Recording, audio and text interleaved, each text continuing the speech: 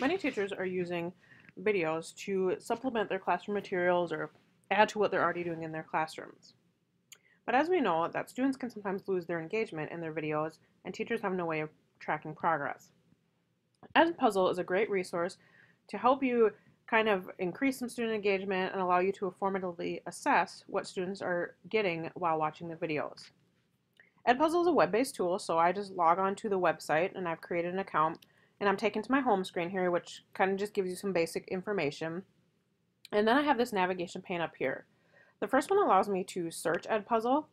And the great thing about Edpuzzle is what I can do is I can find videos and I can add audio, I can add quiz questions or open-ended questions, and I can crop videos to fit what works for my classroom. So here, from here, I can search videos that are in YouTube, Khan Academy, National Geographic, several teacher-vetted resources. I can also just find a URL to a video and paste it in here, and Edpuzzle will be able to pull it up for me. nice benefit is I can look for Edpuzzle created videos. When I look for videos that were already created by other users, I can see that this little green circle lets me know that there are quiz questions associated with this video.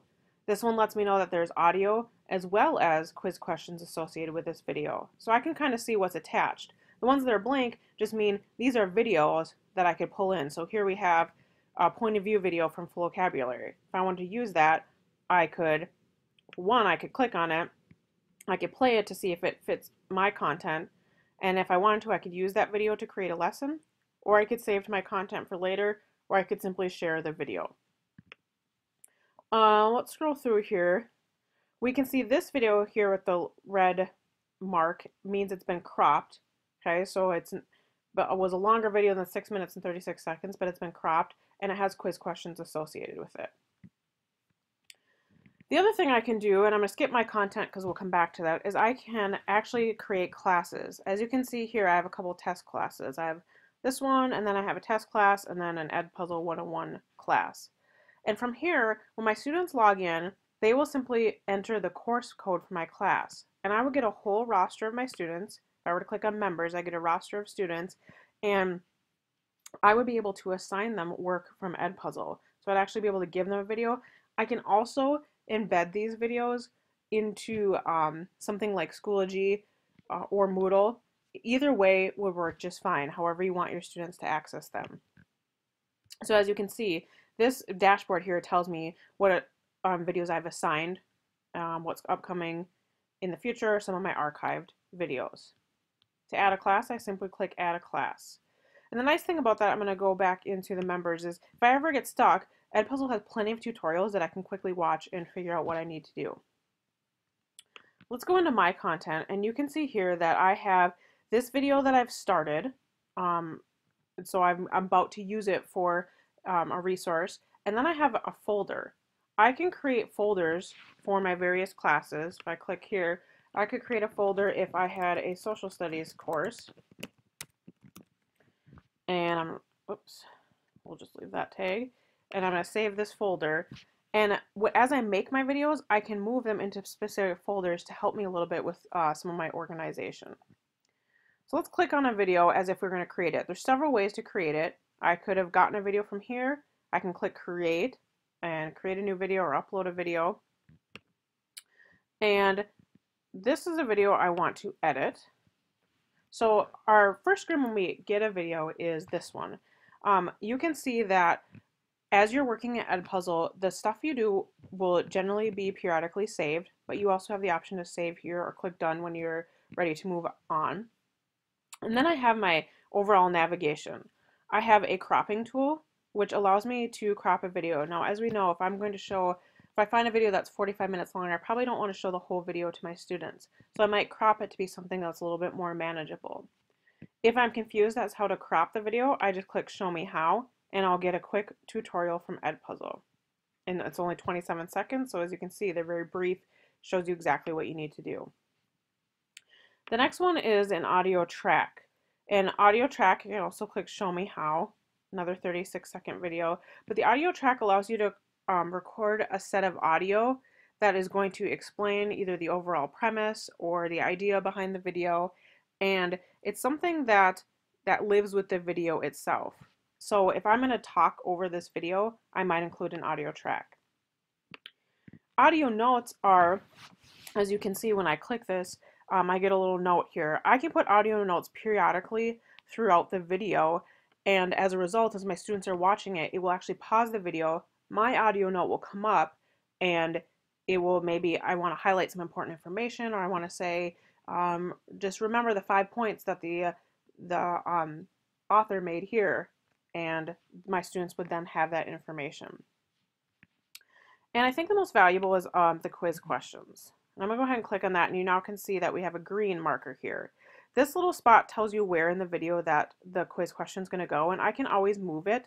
Say I wanted it at the 1 minute 55 second mark and I can play the video to find out as well. And once I click on it, there's three different types of quizzes I can create. I can create an open-ended question.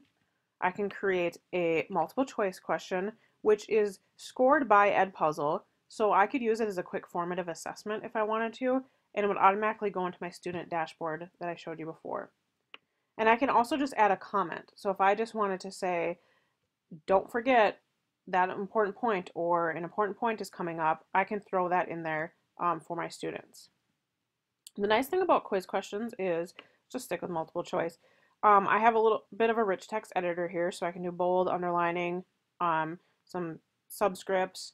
I can add links. So if I was showing my students a video, but then I wanted them to pop out to say Schoology to go ahead and turn an assignment in, I could link them to the Schoology website.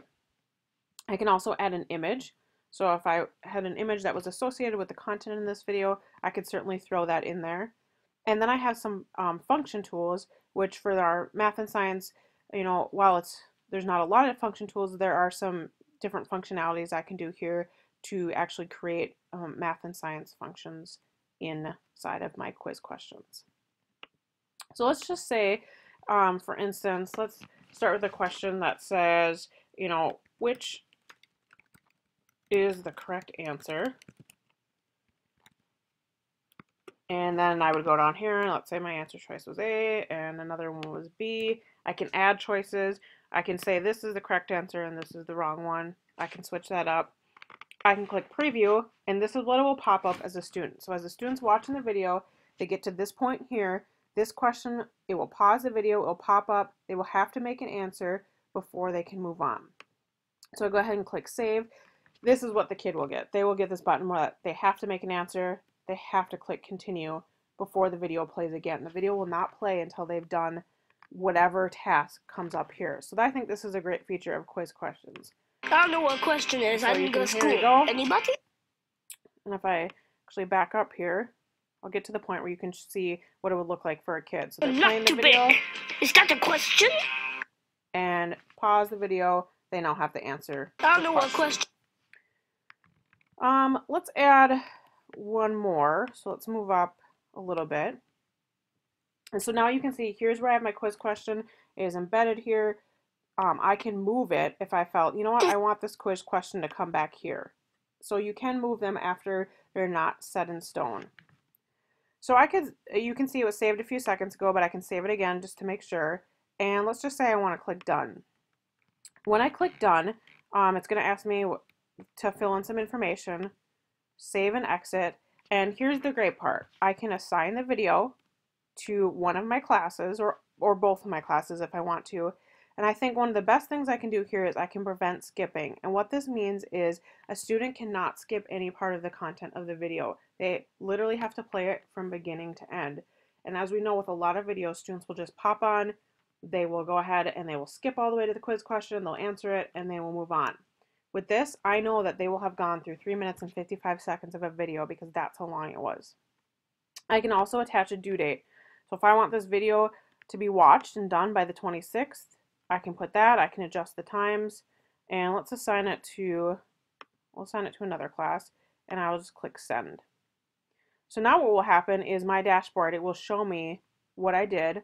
I can view this as a student. So this is what it looks like for a student. They get a video, there's their quiz question, so on and so forth. I go back to my dashboard. I can at any time check the progress. So what, and I don't have any students here, but what I can see is the kids who have not started, I can see the kids who need some help, kids who have done relatively well, and the kids who have done great. And um, then here I can also grade any open-ended questions that I have. So this, as I said, a great formative assessment tool because I can quickly see how my students did on that particular question or overall with this. And if I click this I, I get more info for this whole entire um, video. Let's just go back again to this. So here's our progress we can check. We can see how many students have completed it. Right now no one has. There's no one in class. I can see um, the due date, which I can quickly edit if I want to change it. And I can also see that I prevented the skipping, which I can change. I can also share this assignment. Um, I can share it with a different class, or I can, here's my link or my embed code that I could then put this into Schoology or a different LMS, or I can delete it. So as I mentioned, Edpuzzle is a great tool to begin um, doing some flipping or even having students create their own Edpuzzles as they learn specific content and sharing them with other students to teach them the content. Um, really, it's wide open. If you need any help using Edpuzzle in your classroom, feel free to contact your iLearn specialist.